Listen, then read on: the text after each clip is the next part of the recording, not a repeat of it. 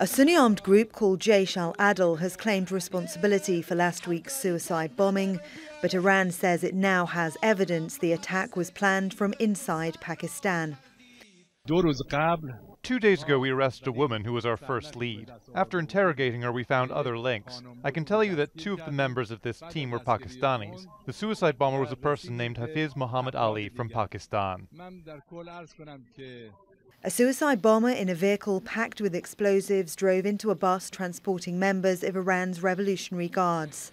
The Pakistani government has denied the attack was planned from its territory.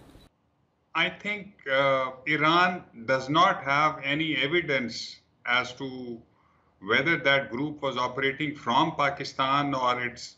Now, these people have relatives right across the border. The three others arrested by Iran are ethnic Baluch minorities. One person is still on the run. But Iran doesn't just blame six individuals for the bombing.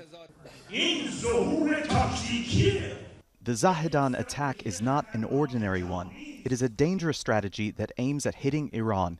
The sons of the Revolutionary Guards are standing firm in the face of the harbinger of doom triangle that consists of the Zionist entity, America and Saudi Arabia, which is a symbol of evil in the region and the world. Pakistan has condemned the attack and offered cooperation. The Iranian military is demanding Pakistan cracks down on Jaish al Adl and warns if it doesn't, it might take action itself. Victoria Gatenby, Al Jazeera.